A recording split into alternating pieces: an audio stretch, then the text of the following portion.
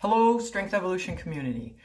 I'm Sandy. I'm a trainer with our Madison location, and I'm here to bring you your Wellness Minute. Whether you're retired, working from home, maybe even have the kids at home these days, our routines and our schedules have certainly changed, possibly in flux and turmoil. When we get off our routines, what happens is a day can get away from us. You could get involved in that good book, a jigsaw puzzle, a movie, maybe the constant media attention.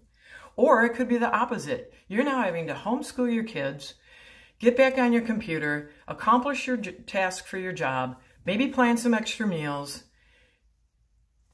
and life is more chaotic than ever. Either scenario, before you know it, it's five o'clock. Where did the day go? Maybe you're still in your pajamas. My Wellness Minute advice for you today is whatever your circumstances, Continue to schedule your workouts and activity.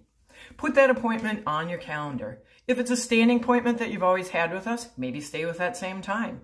If you're somebody who comes to us after work, take advantage of the opportunity now to do a midday workout when your energy is better. Step away from that computer, tune into one of our home workouts, clear your head, and then get back to work.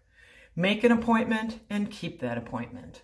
If needed, if you need that little extra motivation or a penalty, maybe try a no so no show charge.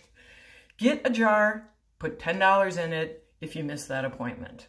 When this is all back to normal, I hope that jar is empty, but if not, it doesn't mean you get to go out shopping.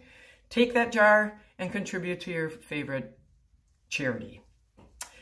Now more than ever, it's important to keep moving and stay strong.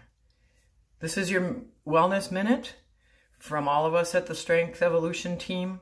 Train smart, live well, and stay healthy, and we'll see you soon.